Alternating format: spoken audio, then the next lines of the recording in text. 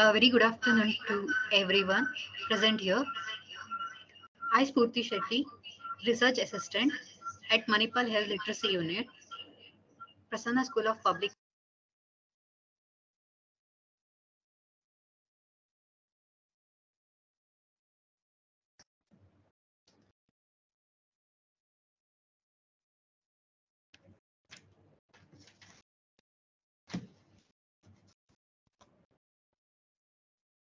A very good afternoon to everyone present here. I, Spurti Shetty, Research Assistant at Manipal Health Literacy Unit, Prasanna School of Public Health, Mahe, Manipal, India.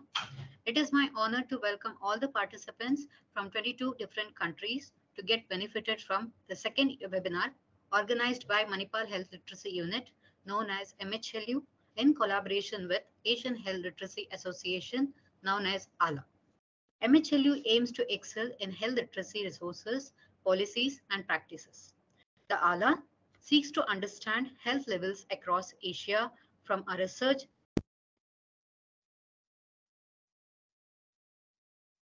are initiating webinar series on health literacy for healthcare providers, researchers, policymakers, industry, academia, and public. Before I invite, invite first speaker of the webinar, I have some important requests to the participants. Small request to the distinguished participants to kindly mute your cell phone and the mic. You may post any queries, question during the session through the chat box. We would be addressing few selected questions considering the time limitations. Today's webinar, we will be hearing insights on, of experts on health literacy on public health and enhancing health literacy through technology. Please note the speakers will be sharing the insights for 15 minutes.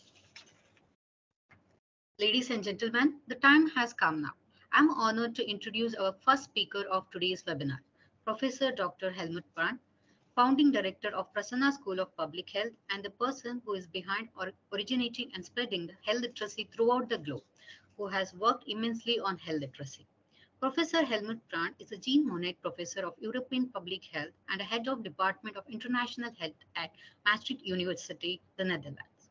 He studied medicine in Düsseldorf and Zurich. He holds a Master in Community Medicine from London School of Economics. Professor Brand is a specialist in public health medicine.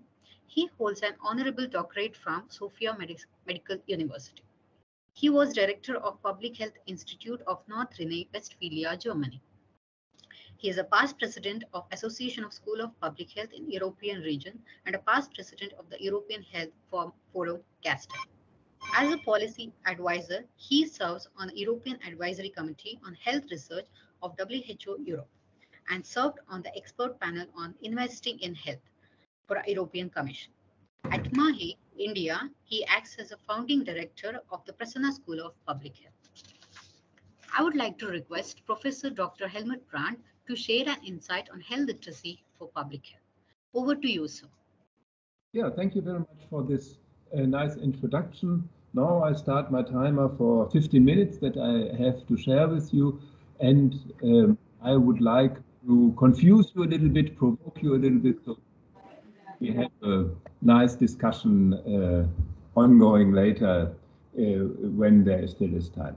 Um, I would like to guide you through the different stages of health literacy that we had the last 15 years, because I see at the moment we have a general, generational change in health literacy research. A new generation of researchers is coming up. That's great.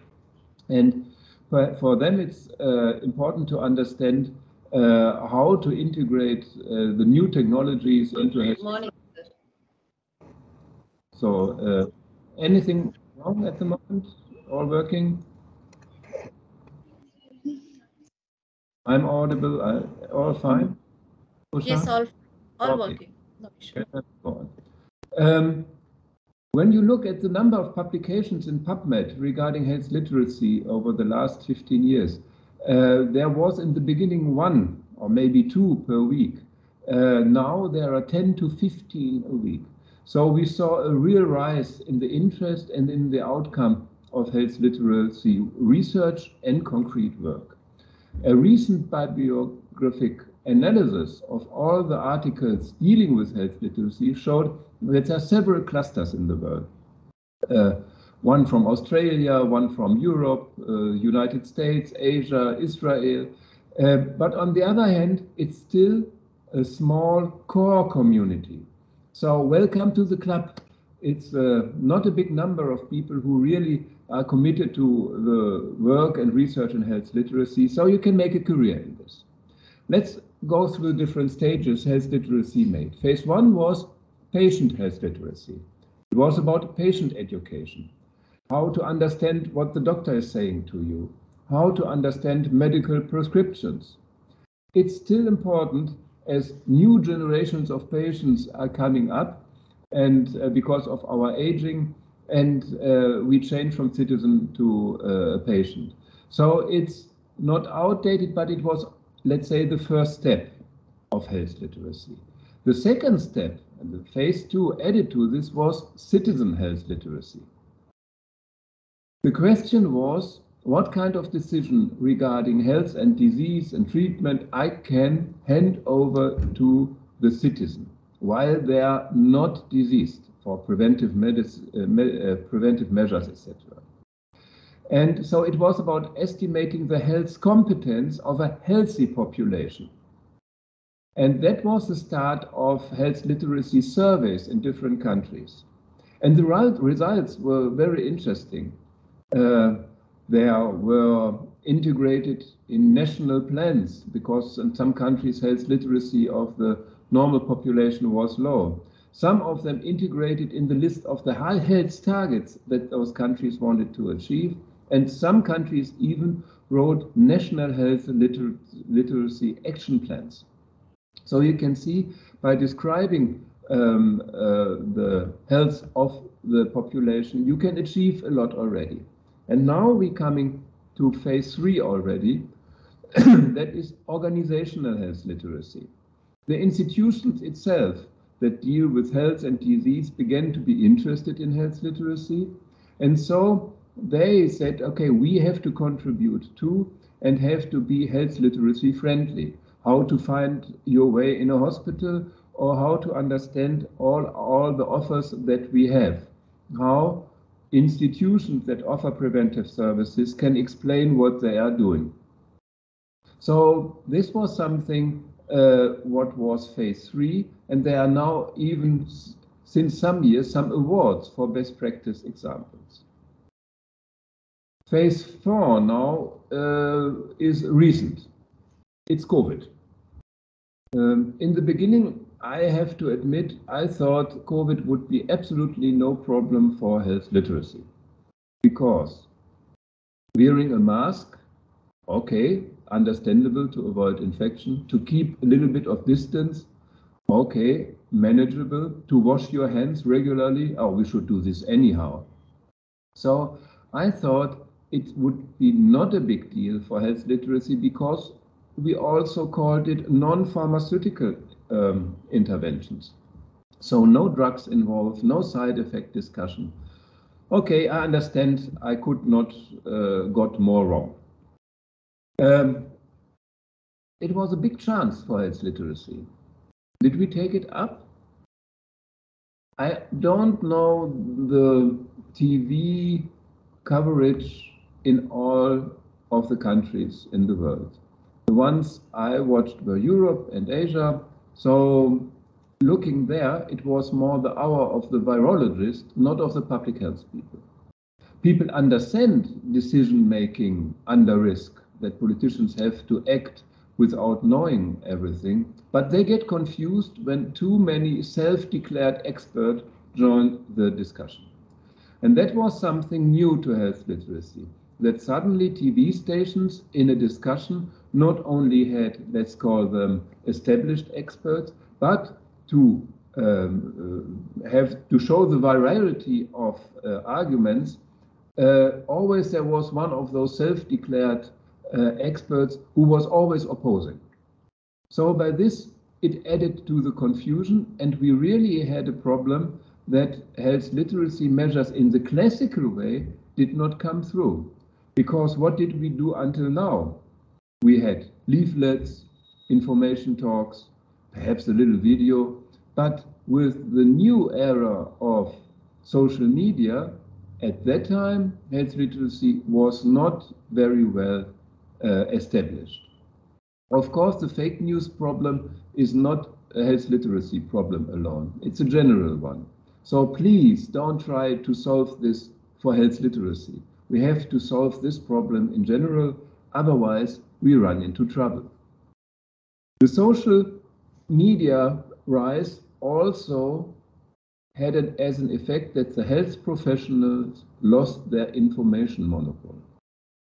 Health professionals lost their information uh, uh, monopoly. Others are now uh, saying what is on the agenda and they spread the news. So we have to adopt to this. Then we had all these publications on pre-publication servers. I looked at those who deal with uh, health literacy, and in a way, most of them were not very helpful. Health literacy was just too slow. There were some opinion polls and so on, so citizen health literacy was measured, but there were no interventions really uh, uh, there that could have been evaluated. Yes, I understand you need time for this. And now we analyze backwards. Yes, we look what happened and we, we do our analysis and we publish. Um, but when you look at all this, health literacy publications uh, describe more what happened. And uh, it did not develop any real solutions in the last 10 years. So coming up for phase number five, digital health literacy. The underlying problem of this is digital literacy, not so much digital health literacy. Why? Because dealing with digital, the world of digital, is the problem. And digital health is just one of the several applications. Of course, you can use digital solutions for our phases one to four. No problem. Instead of leaflets, you do it online. Instead of publications, you have an app. Of course, you then have the fallacy that you try to transform 100% what is in the analog world to the digital uh, world. We will not do this. We will see what kind of new possibilities there are uh, to have interventions that are digitally based. But in general, nothing major changes on content, just the way to provide. At the moment, there are too many survey tools already regarding digital health literacy. I counted five to seven, depending on how you define. That is not helpful in the international uh, work on health literacy. And on the other hand, this is already a moving target. We move from digital to artificial intelligence. You can say, oh, that's just another thing. No, it's not. Uh, now, being having availability of all the information of the internet, we could train the really fast-going computers now to digest all this knowledge. That was a problem uh, uh, uh, before, the availability of training material and the speed of computers. That is now there. They are stupid but fast. Those computers now can help us. So we have to have this in mind for the upcoming discussions. And, and in a way, you um, say, okay, they are only to 80% correct. Yes, it's like in the marketing. Uh, only 50% of the advertisements you pay for have an impact. But the problem is you don't know which 50%. So the same is true for the normal citizen. If uh, AI um, answer to your question is 80% correct, it is not marked where the incorrect 20% are. You have to know this. So access to information changed to I have to read something to I can ask. But how to uh, secure the quality of this, that the answer is correct? State regulations. This text has been produced by AI as a label or like in food, we use label. Does it work? No, I think it's a it's a, a big challenge for regulatory science. What I think is we have to go back to strengthen common sense. Common sense of the people. I call it the April Fool effect.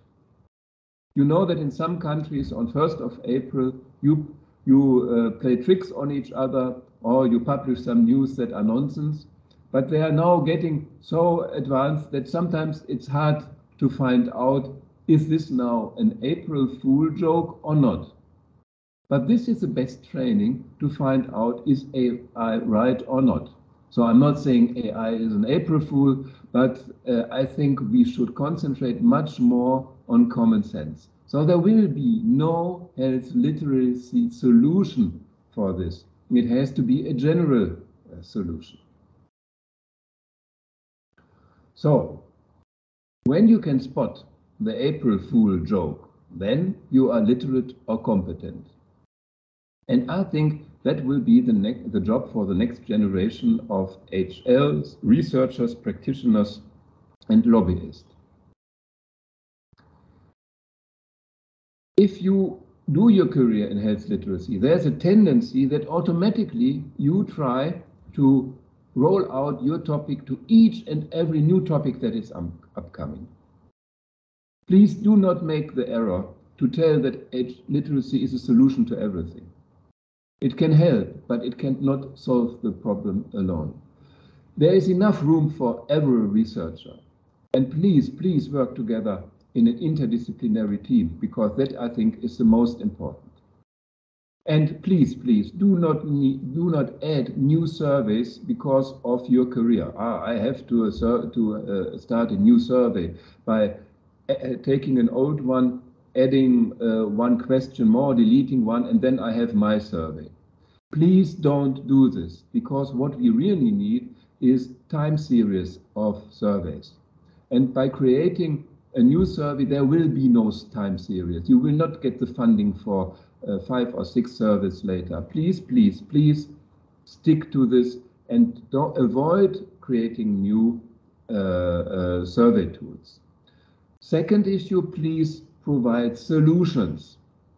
We have enough problem descriptions. 80% of all the literature is about we have a problem. We would like to see much more solutions. We need interventions that have been evaluated and have shown to improve the HL status, the health literacy status of a population.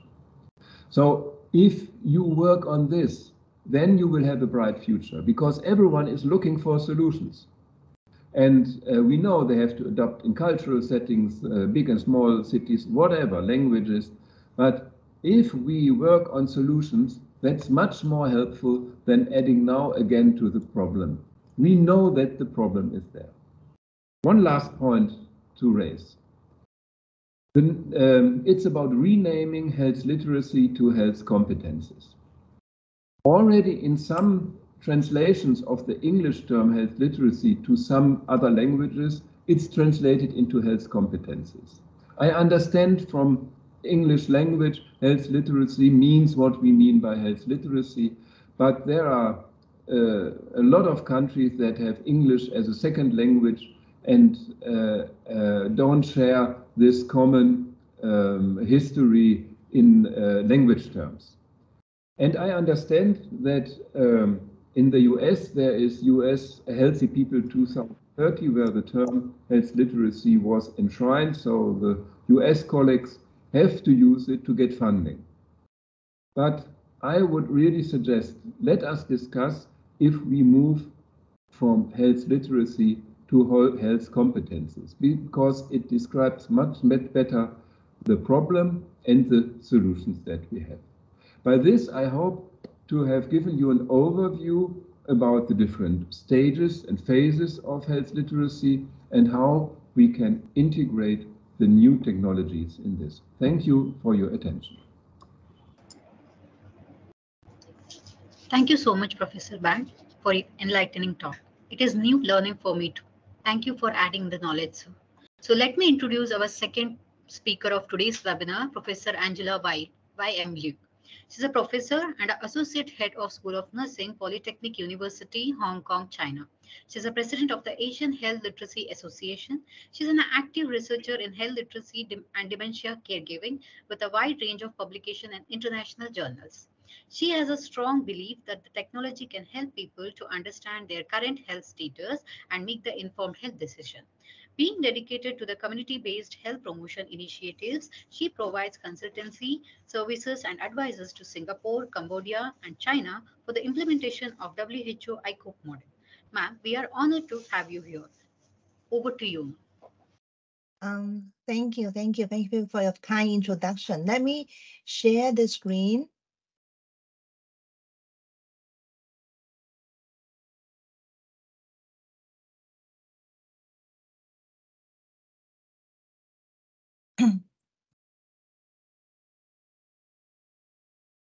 Can you can you see my screen right now? Yep. Okay. Yes, ma'am. Yes, ma'am. Thank you, thank you.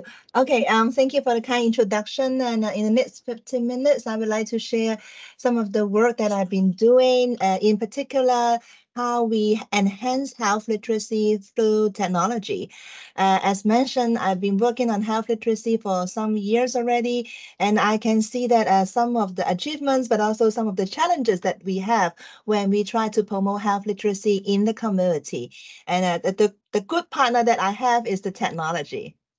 Okay, let's look at um, what do we mean by health literacy. I think that many of you, when you are working in this area, you probably are familiar with the definition from the United States uh, Department of Health and uh, Human Services that they mentioned that health literacy is the degree to which uh, we can obtain the health information. And through that, and we can also communicate with others um, we also look at how this being processed in our mind and uh, we can understand this information. At the end of the day, with all this information that we received, it, we would like to make some appropriate uh, health decisions. So with that in mind, I think that is very important because day to day, we actually have to make some decisions in relation to our health. It's not just at the moment when we are in front of the doctors or nurses, but uh, health decisions have to be made uh, for our own health every day. Um, Laban, uh, from Sydney U and WHO also mentioned that, well, this is not the issue for individuals. Uh, of course, um, individuals can do a lot of things. Uh, but then when we talk about health, it's all, uh, it's all related to our family members as well as the whole communities. So they remind us that health literacy can be broadly talking about um, the issues related to individuals as well as family members and communities. But at the end of the day, we would like to see that we are maintaining good health. Um, well, if a person or if the whole population has inadequate health literacy, and that would be a great concern in the public health. So that's why um, we need somebody or something to help us. I think technology uh, is one of the way to help us. We use it day by day, and at the same time, uh, through this technology, we can receive a lot of information, including health information. So here I try to give you three examples uh, that I try to use technology to help people to understand about uh, health issues and support them to make the health decision at the end. Uh, the first one is related to diabetes. Uh, I'm not talking about uh, those people who have already got diagnosed, uh, but those people uh, who may be at the risk of diabetes or they are pre-diabetes or they have diabetes, but they don't know, they were not diagnosed. So we use an app to help them. Um, the second project is about uh, using a, mobile app to support a persons to look at uh, their mental health well-being uh, that would use a painting strategy to do that. Um, the last one would be uh, we concern about those caregivers. They have been highly stressed during uh, the caregiving uh, procedures. So that's why we try to use a mobile app again to help them to alleviate the stress. So I would see that mobile app is very useful in a way that that can be applied in the community it, and reach out many people at one time. Uh, so that they can be used for health screening, as I mentioned, that they can be used for uh, uh, looking at pre-diabetes situations uh, without asking people to go to the clinics. Uh, and they can be the, the app can be used for health promotion. Uh, the good thing about this app is that it can be used at any time, so it can be used for self-assessment. When we talk about self-assessment, we, we it can be extended to many parts, but here I just give you as an example that individuals can self-assess their mood and express their emotion. Um, Lastly, uh, of course, the technology can help to connect with people and in support the individuals to make decisions uh, through social support and communication. So let's talk about the first uh, intervention here is that the uh, it was actually developed in 20, uh, 2015, 2016. At that time, when I talk about pre-diabetes, everybody say, no, no, no, you are not going to talk about pre-diabetes. We have so many diabetic patients already. So why do you want to know who is in a pre-diabetes situation? So, well, uh, with that kind of uh, objective uh, objection, uh, but I, I, I, still insist that uh, I think the community should know about by themselves that uh, whether they are at a good stage, a good health situation. So that's why I insist to make up this app. Uh, the app is good in a way that we do not need to ask the individuals to, go to the clinics to take the blood test. Uh, they can use uh, this app answer nine questions so that they can get a score. And that score actually gives them an estimation that whether they are at the risk of diabetes or not. If then they are known to have that high risk, then they could make the decision to go to the clinics and, and take further investigations. Uh, so that's why I think the app is good in a way that is reach out people um, and allow them to make decision. Other than uh, assessing the, their risks, um, we also like to collect some information about their own lifestyle. So that's why you can see in the second uh, print screen, actually, we are talking about uh, how, how, how active you are in physical activity. And the last screen is talking about whether you are taking, um, what, what kind of um, um, diets you are taking in morning and afternoon. So after answering the nine items, uh, actually we are using the FINRISK score uh, to um, ask these questions. And uh, once the person uh, answer the nine questions, then at the back end of the app, it can estimate uh, the risk score. And it will be shown like this uh, using a, a, graphic to show that the blue, uh, the green one is uh, normal and the red one is about the high risk. So it's indicating to the users that actually they are in the normal situations or at the high risk of the having diabetes. So if uh, people know that they're at a high risk, then they think about that, what should they do? Uh, as I mentioned, I asked them about their lifestyle. So that's why um, with the information from the users, we can sort of add, uh, understand that how good or how healthy their lifestyle are, and then we can give recommendations. So in the latter part of this app, actually, it is a given individualized uh, recommendations to the clients. Uh, this one is as, as, an example here is that it's asking the users to take three portions of um, vegetables and two portions of fruits a day. So it's a kind of recommendation according to the WHO. And uh, so they may not understand that how big the portion is. So another screen is to show them that, okay, uh, if you talk about one portion of fruits, this give us some examples here. So the good things about this project is that um, we found that um, people actually like this app. Uh, we have um, put this up into Android, uh, Android store and an Apple store as well so that people can download the app freely. And uh, it turns out that within a week, uh, one, uh, 13,000 people in Hong Kong actually download the apps. And we found that uh, they use it actually, uh, but of course some people would use it partially and then they just walk away. Um, eventually we have a 4,500 cases that are so-called valid cases, and we do some analysis. Um, as uh, as like the other scales, we, we have to calculate the cutoff point for uh, this uh, FINRISK score. So that's why we, we use this uh, data set to calculate that. Uh, we find out that for the Chinese people, this FINRISK score has to work out a new cutoff point. Uh, that means that um, we, we can recommend people to see that whether they are at the risk of diabetes or not when they are having a score nine or above. And with that app, uh, we haven't stopped yet, and we we do a follow up two years later, and we find that those people who are in uh, in the high risk group actually uh, they have a high chance to develop uh, diabetes in the future. Uh, but do they do anything? Yes, they do. Um, according to the apps, actually, we give recommendations to them. We check out by calling them and see whether they actually follow these recommendations and change their lifestyles. We found that the high risk group actually improve their daily intake of vegetables and do more exercise than those who are at the lower risk. So we can say that uh, this app is good in a way that it is helping people to change their lifestyle and improve their uh, health behavior. So um, the app uh, now uh, is closed down, but just because that we we try to revamp a little bit by changing the uh, cutoff point. Um, but in the future, I think that uh, this one would benefit more people. Um, the second project is about the e-painting mobile app.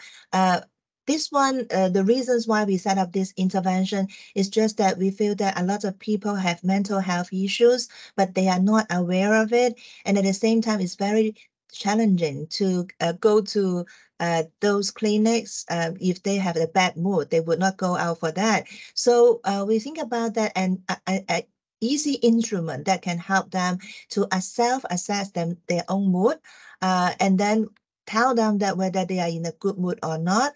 And at the same time, they, uh, that this app actually allow people to draw their electronic painting here. And if they like, they can share their pictures with other people. And um, you know, art therapy is a way to express our emotion.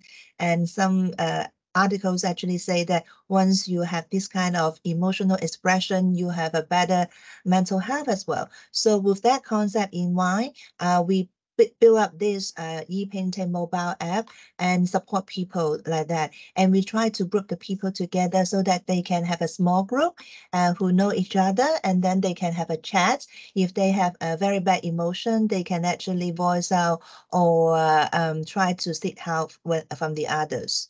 We also have a professional at the back end to uh, make an announcement talking about what kind of mental health services are being offered recently so that uh, people uh, who use this mobile app can actually go for uh, this kind of service um, if they like to do so. So um, the, the big question of this intervention is that whether people really like to draw the electronic painting, would that be too difficult for people to do that? And is that visible? Is that acceptable? So that is a big question to us. So that's why we conducted um, a feasibility and acceptability study to check out that um, whether people really use these uh, can really use this uh, e-painting platform. Um, the first phase is the development. I think the most challenging part is that um, we think of many, many possibility uh, but the users would have another views. So that's why it is very important to involve the users uh, to, to, to in the, this development. Uh, so in this study, actually, I focus on the caregivers uh, who take care of the person with dementia. So I invited um, 22 caregivers to come along and discuss about what kind of features that they would like to see in this e-painting platform and what kind of fun features should be included. And uh, their comments are very useful. And then we work out um, uh, eight week intervention. That means the users can use this app for eight weeks. And we want to see whether how good they are in these eight weeks. And um, do they have any further comments after using uh, the platform for eight weeks? So that's why we collect their comments through a qualitative study. And uh, actually, this is very impressive that uh, more than half of the page of the clients actually they would see that paintings uh, is very favorable to them. They really like these features. Although there is a features that let them let the users to talk to others, uh, they will feel that that is good, but um, the painting parts, they actually like it. And at the same time, they feel that um, this app is very helpful in a way that, that they can feel that they, their pressure and their stress have, can be released. Um, we also ask them whether this do they have any mood changes after using the app. They will. They actually, as some of them said, yes, they they do have some feelings about the mood improvement, and they feel that um uh this uh, self-assessment features is also helpful because they can self-assess their mood at any time that they like. Uh, one suggestion made by the caregivers is that they would like to uh, have some background music while they are doing their own electronic painting. And they would like to see some colors that could be added to reflect their mood as well. So um, let's go and look at uh, what has happened uh, in the eight-week intervention. We can see that um, one of the concern is that do they do do the do the users actually log in into uh, the platform and use it? So the answer is that yes. Um, we mentioned to them that actually they uh, they are recommended to use the app at least once a week. Uh, so that they can do their painting. 64% uh, of them actually follow this advice. And um, about one third of the uh, uh, one quarter of the people actually use more than require and uh, two clients seven percent of the clients actually uh, use uh, more than two times per week. Uh, so they have more than 16 times in this eight week. And the other concern is that whether they would feel um, uncomfortable to share their paintings with others? The answer is that, well, uh, only 28% of them do not share any paintings with others. Uh, majority of the people actually uh, would share their paintings and it's more than one time as well. So looking at when they use the mobile app, here is that you can find that it's a very interesting situations. Some people use it in the midnight uh, maybe I think it's the Hong Kong people who always get late sleep, and uh, but at the same time, um, they I think that that reflects the time that they are free from the caregiving tasks, caregiving duties. So that's why in the evening time they actually uh, use it quite often. Um, at the same time, we ask them to use it for eight weeks. Um, some of them actually continue to use the app after eight weeks as well. So you can see that they really like the app, even though that is more than eight weeks intervention. So uh, with this e-painting platform, we learned that uh, this is a very good way to let um, the general public to express their emotion and also is a way to reduce some of their uh, pressure. So um, now we have just got a funding from the Hong Kong government uh, to extend this work because last time I just have 28 people to have a small, small pilot study, uh, but now we have the funding to this uh, intervention could be now be extended to 800 caregivers uh, of different types of people and um, and in Hong Kong and we will do this project in two years. Hopefully uh, after this um, uh, the use of these 800 people, I think we can have more information about um, the efficacy of the app. Okay, so uh, the third project is about using the app to help the caregivers. And again, we try to um, focus on uh, social support and connection. Uh, so I worked this out with um, uh, the, the colleagues in uh, Karolinska Institute in Sweden. Uh, this collaboration is that we work out the app for the Chinese, they work out for the Swedish people, uh, but it's the same platform uh, in the way that you can see that there are uh, all these features here in the app so as to allow people to build up their network through the app. Uh, the good thing about having this is that when they have challenges, when they have difficulties in caregiving, they can communicate from others and learn from others. And this is one of the way to get health information as well. So you can see in the app that actually it allows people to have a caregiver to caregiver communication and also communication with the professionals. So by then the professionals can use the uh, chat box to announce some useful information about caregiving to them, and they could get the information through this app. And we also allow uh, the users uh, to um, get to get to know that where are the resources in the community. So uh, actually here, sorry, this is in Chinese, but just want to show to you that uh, we actually put up a resource list uh, the list of resources in the community here in the app so that they can feel free to approach other organizations when they need more information.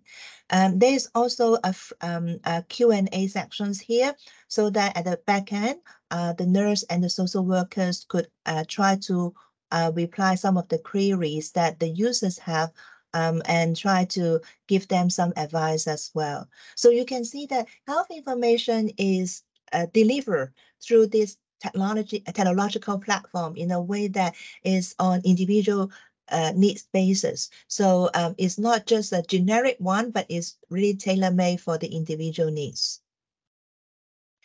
Uh, so I call this app as a SAMAT, uh, as a stress alleviating and monitoring system.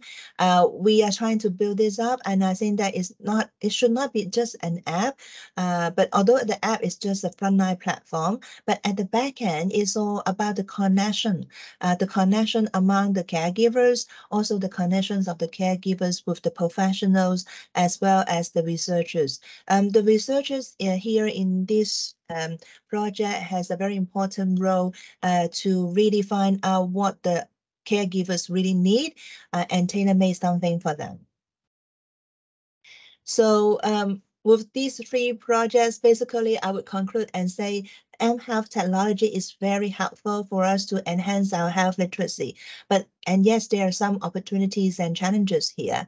The good opportunities that you can see that using the technology, we can identify the high risk people, uh, and then we can provide some instant advice to them but at the same time, we can encourage the peers to be connected um, in the community and allow the professionals to reach out the general population. And it's quite cost effective in a way that one professional can reach out more uh, at one time. And I can see that um, electronic platform is no longer restricted to the young generation. Um, here in these free projects, all the users are middle-aged people and older people. Actually, they also welcome the mHealth technology to get health information and make up their own decision.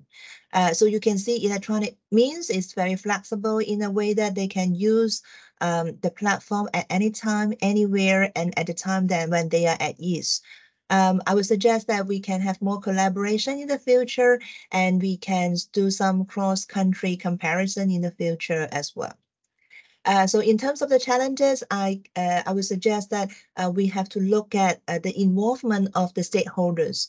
Uh, the stakeholders are not only patients, but also their caregivers, um, the professionals, as well as the policymakers.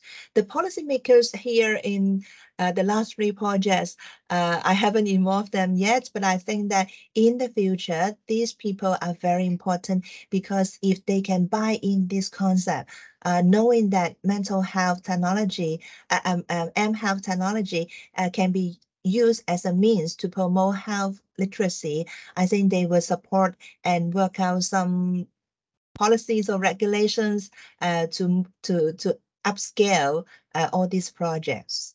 Um, for the challenges here, I think um, the biggest one is the technology part, that it takes times for us to, to develop uh, the technology. So that's why I think that um, once we develop one technology, it should not be restricted to one small population.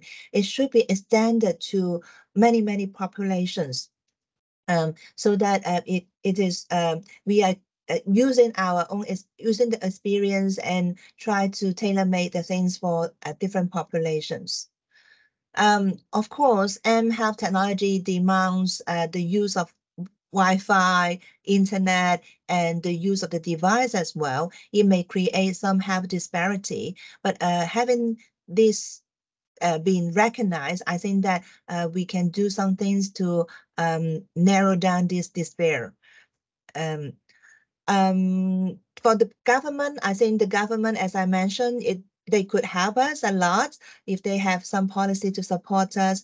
Um, industry also can be another big party to support us as well.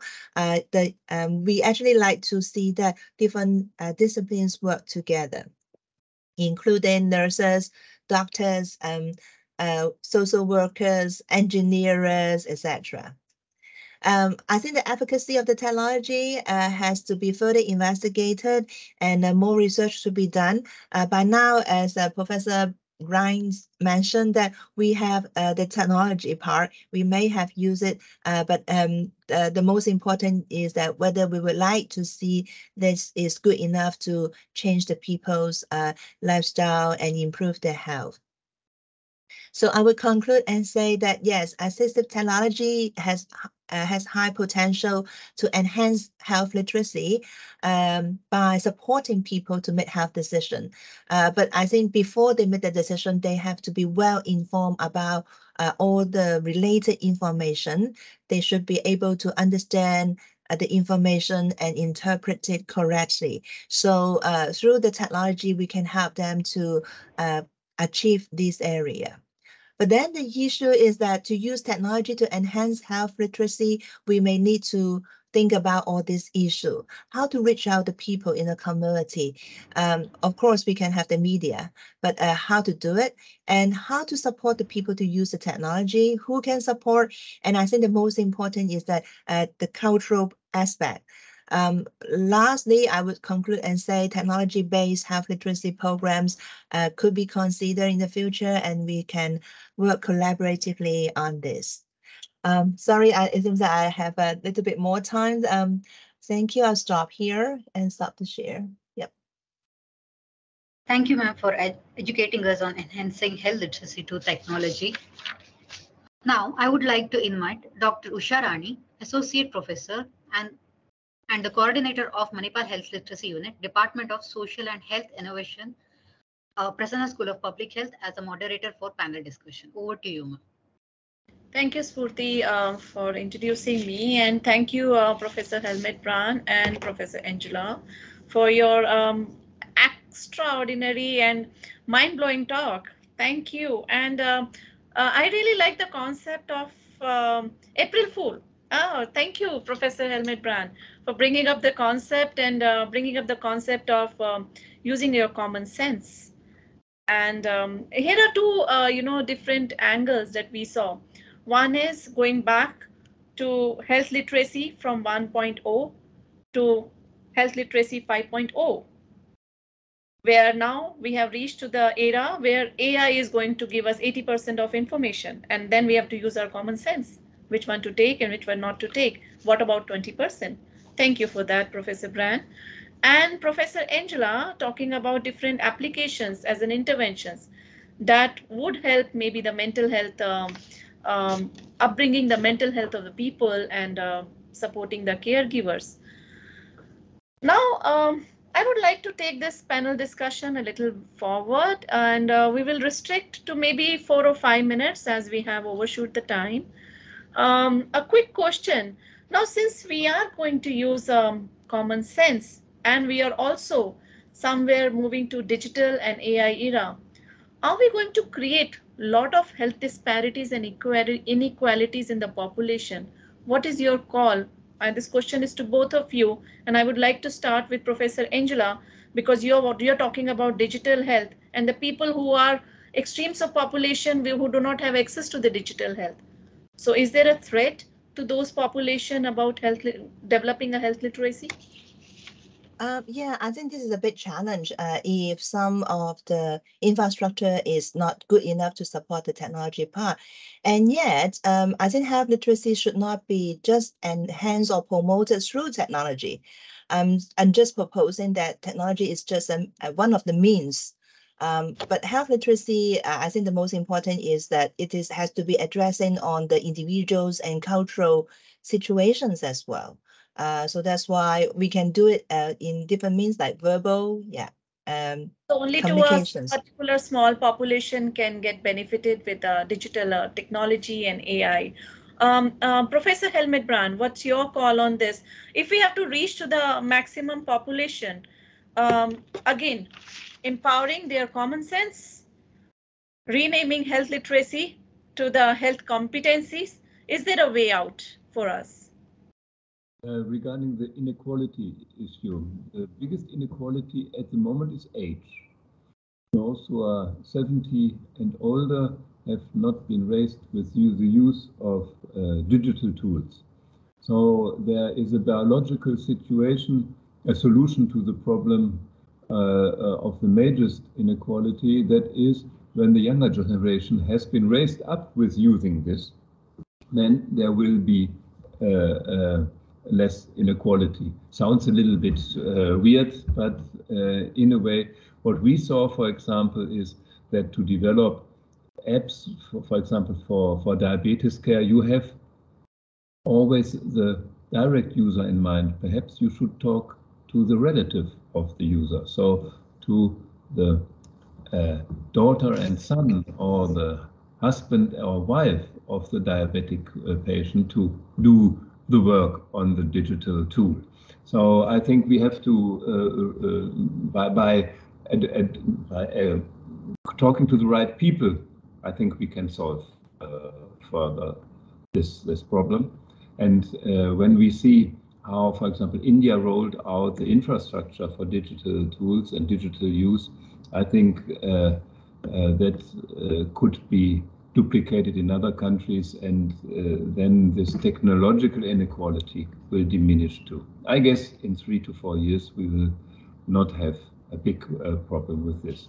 We will have still a big problem with the knowledge of the people because at the moment, we see that people more and more, because of the enormous variety of social media that are available, that you stick to uh, the information you already like.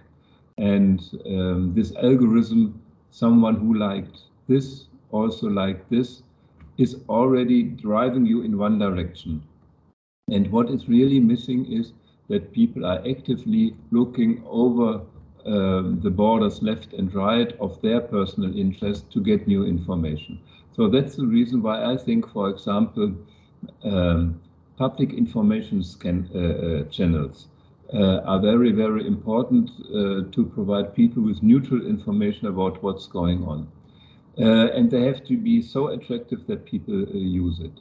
And um, having all information channels in a private hand is a problem and of course, when it's state run, you have to see if this is neutral information too. But um, somehow we make it have to make it happen that people not only uh, do communication in their own bubble. Thank you. Thank you so much for putting up the light on this. Uh, the next question for the panel is, um, uh, we were discussing about multi involvement of multidisciplinary and interdisciplinary team for uh, development of health literacy and moving away uh, not only from the survey to solutions. So is there a role of any multidisciplinary or interdisciplinary team to develop interventions for health literacy? And if so, what it is? Uh, over to you, Professor Brand, and then we will take insight from Professor Angela. Yes, information technology, sociologists, psychologists, they all should to come together. Health literacy is not um, a science in itself. It's just an application uh, where all the different specialities should work together. And for example, one trick for the scientific community would be a funding agency would say, in a project, at least four different specialities have to work together to in the application would increase the chances that we talk more to each other. At the moment, what I see when I'm a referee to proposals, it's mostly one sort of researcher. So the interdisciplinary mix is not given. And uh, we, if we talk to funding bodies and say, please ask that at least three or four different specialties have to be represented, we could increase this by a, a very simple way. Yeah, I, I, yeah, I totally agree that I think multidisciplinary collaboration would be very important to enhance uh, everybody's health literacy. I just give an example that uh, people who are very good in design, um, originally their work is to work out the project management and the design of the infrastructure like that. But from their training, they actually have a very good training in um, structurizing all the concepts and how to deliver the concepts in a, a very detailed way. So I think um, that one may not be the um, uh, something that uh, nurses or doctors know about that. So this gives us another insight to look at how message, health messages can be delivered in a systematic and uh, easy to find way in a structured uh, framework. So I, I think this is a good example to illustrate that people with different expertise can work together. I would call to say um, uh, it's not only health professionals who know the best, uh, yes, some people would think that, okay, doctors and nurses know more about health. But uh, when we talk about all this, I think psychologists, sociologists, um, even computer people may have another angle uh, to help us to deliver the health message to the to the general public. Yeah. Yeah, thank you so much for um, bringing up a, a diverse, um, you know, spectrum of health literacy to this platform. Um, participants, your mic is now on and uh, yeah, the mic button is enabled and uh, I request if any one of you would like to ask any question to the panel, uh, you are most welcome. And for the group shoot, uh, group photo shoot, we would love to have your cameras on so that we can take one group photo of all of you in a together mode. Meanwhile, I request if anyone has any question, please to ask to the panel.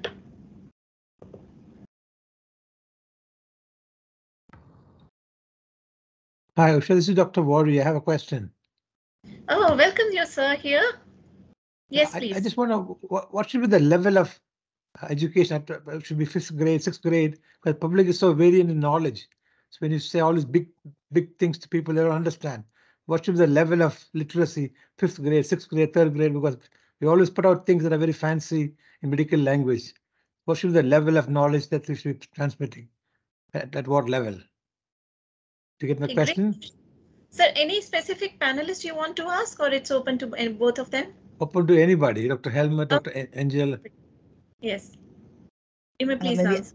I can try to answer first. Yeah, according to USA, they have recommendations that uh, the left the educational level should be like a primary four, primary four, or maybe grade grade four uh, level. Uh, uh, that kind of level would be quite low in a way that um, uh, we encourage um, uh, the information to be delivered in a low level so that everybody can understand about that. Yeah. Uh, but whether these recommendations apply to all the countries, I really don't know. I think we need another exercise to test out uh, this recommendation rate for level is too high or too low in different countries. Yeah health literacy information Thank you. has to take in account uh, all strata of the society, regardless of their educational status. So, for example, in COVID times, we had the challenge to reach those people who are very low literate or even illiterate and uh, to uh, spread the news. And um, I think uh, that would not be needed for all and every interventions, but uh, I think we should keep uh, the information needed for essential uh, tasks uh, independent from the educational level. So there should be different versions from information depending on um, uh, educational level available.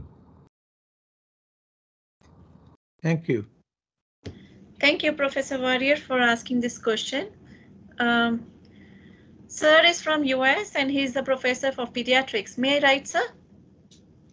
Yes, I am. Yes. Thank you. Thank you. Yeah. Any other question to the panel, please? You may unmute and you may ask. Actually, I have one more question. Is there no questions at all? Can I ask one more question? Yes, sir, please. What what about the, the who should take the leadership of medical school or university, individuals or or a, a public organization? Who should be the people doing this? Because there are so many people involved. Could be a person, a university, a, a state health department. Who do you think should take the leadership? Well, um, I before I worked at the university, I worked in public service and working in ministry and running Institute of Public Health. The driving force, uh, in a way, should be uh, the public service because, from my personal per perspective, uh, because uh, the obligation of the public service of a country is to keep people healthy by different means they should have the lead. For example, that's the reason why some countries have national action plans on health literacy, where they then define the different work packages that you can give to the different actors. And we have mostly four actors in a society. You have administration, government, academia, universities, uh, civil society, the NGOs, and industry. And if you do four work packages, who should do what?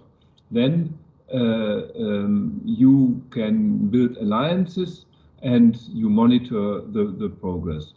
Uh, for example, most countries have a national TV station or national radio stations. It's much easier uh, to get this kind of neutral information transported via them than dealing than having to deal with, for example, private TV and radio stations. On the other hand, um, universities have to provide the evidence on which then administration can uh, make decisions what kind of intervention should be there. Uh, industry, for example, has often the problem that they want to do something good, for example, to the workforce, but don't know what. So a health literacy survey for a company would unreveal what where the problems are. Then you need a toolbox of what kind of health intervention would work. And then for this company setting, for example, you do an intervention and measure again with the survey. Uh, so that is the industry as recipient. And of course, the industry as a provider could be in the developing, at the moment, we will talk about health apps and so on. So I think all sectors of society will have dedicated works, but you need one coordinating uh, institution. And I would see this in the governmental level. Um, maybe I can add a little bit more is that um, the government may play another important role as well. Uh, as far as I know, um, Taiwan has done a very good job there that um, they, they, they have regulations for all the hospitals. If they want to get a license, they have to ensure that they are health literate organizations. So there's a regulations there that uh, that is binding uh, health literacy to their license so that um, the hospital administrators have to ensure all the procedures uh, are, are uh, very good for everybody to, even though they have low health literacy. Another example is that in Hong Kong, Hong Kong government actually uh, is doing a good job that uh, they are trying to educate people about health literacy and develop scale uh, across the board. And so that we uh, are actually measuring every citizen's health literacy with the knowledge uh, of the levels of health literacy among the citizens, then more interventions can be created and supported by different parties in the society.